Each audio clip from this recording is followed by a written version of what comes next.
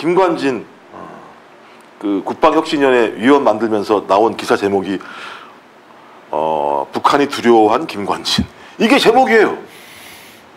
어 이게 무슨 말도 안 되는 아 이게 완전 충성 경쟁 벌이는 거죠. 아니, 김관진이 어떤 사람입니까?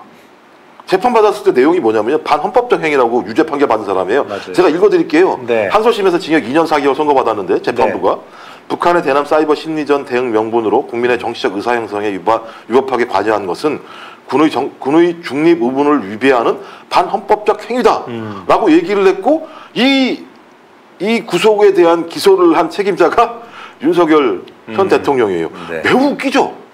이런 사람을 본인이 본인이 기소해서 법원이 유죄 판결을 내렸는데 대통령 직속기구 자기의 직속기구에 국방혁신위원회 위원으로 앉히고 있고 부위원장, 부위원장입니다. 예, 그러니까 부위원, 그러니까 제가 볼 때 거의 그러니까 대통령밖에 없으니까 부위원장이겠죠 이제. 그 대통령 없으면 그죠? 김관진이가 국방혁신위원회 키를 갖는 거예요. 그러니까요. 그랬더니 언론이 북한이 두려워한 김관진 이 내용을 안 써요.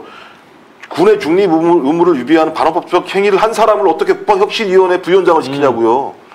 아니 중립 의무를 위반한 반헌법적 행위자를 어떻게 부위원장을 시키냐고요. 언론은 이걸 공격을 해야죠. 말이 됩니까? 이게 반헌법 행위자를 어떻게 예를 들면 국방위원 국방혁신위원회에다가 앉혀놓습니까 라고 언론이 비판을 해야 되는데 오히려 북한이 두려워한 김관진이라고 다섯 특비를 하고 있는 상황. 그러니까 예를 들면 그러니까 왜 한성혁은 안 되는 거고 김관진은 되는 거예요? 김태호도 마찬가지잖아요. 따지고 보면. 아, 이 되게 재밌어요. 김태호는 뭐 때문에 걸린 겁니까? 군사 기밀 갖고 나와서 그런 거예요. 네.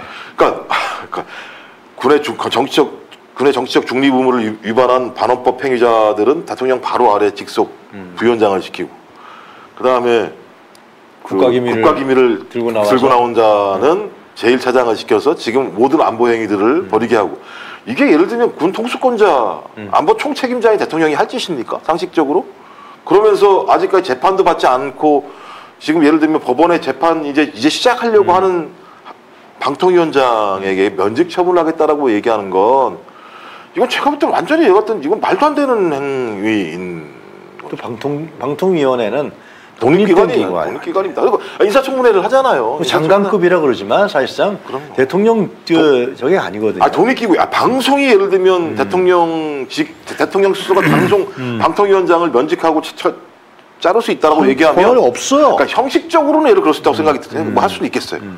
뭐 예를 들면 아직까지 제가 알기로는 지금 헌법기관으로 지금 그 헌법에 들어가 있는지 모르겠습니다만 방통위원장이 제가 아직 어, 그- 그렇기 때문에 제가 볼 때 이거는 매우 좀 음, 그냥 괘씸죄예요. 뭐든지 그냥 쳐, 쳐보려고 하는. 두 달도 못 기다리겠다 이거예요.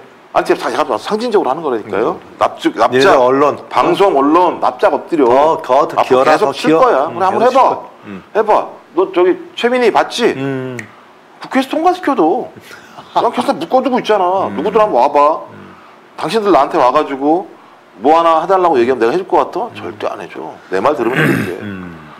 뭐 이런 상징적인 의미가 지금 벌어지고 있는 거고 특히 내년 4월 국회의원 선거 앞두고 방송 장악은 얼마나 중요한. 굉장히 중요하죠. 사활적인 문제인 사활적인. 거죠. 뭐 언론 같은 경우는 조중동이라는 게 있기 때문에 음. 제가 볼 때는 자기를 위해서 알아서 해주겠습니다만 또 네. 통제 안 되는 게 또 조중동일 수도 있어요. 예를 아이, 들면 서로 뭐 이제 빠터를 해야 되는 게 또 있으니까 아, 이거 아, 피곤하죠.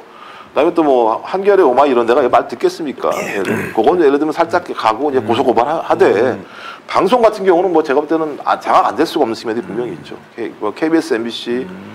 SBS도 마찬가지고 YTN 뭐 YTN은 지금 어떻게 될지 모르는 상황이니까 음. 연합뉴스 TV 이렇게 예를 들면 딱 눌러놓으면 방송 알아서 알아서 뭐다 이미 기- 제가 볼때 방송 알아서 기고 있는 알아서. 기고 있죠. 그다음에 알아서. 뭐 한쪽에서는 계속 예를 들면 방송국 치고 있고 네이버 치고 있고 그러니까 총체적인 포탈까지 돼. 네, 자. 총체적인 언론 장악 음모를 통해서 자기들이 통제하는 어, 기사와 프레임을 유통시키겠다라고 하는 것들이 지금 본격화되고 있고 그 상징적 인물이 한상혁 방통위원장이다라고 하는 것이고 뭐 이건 제가 볼 때는 그, 그 건설 노조를 말씀 노동 그러니까 노조에서는 건설 노조로 상징될 것 같고 이 방송 언론에서는 한상혁 방통위원장으로 상징될 것 같고요.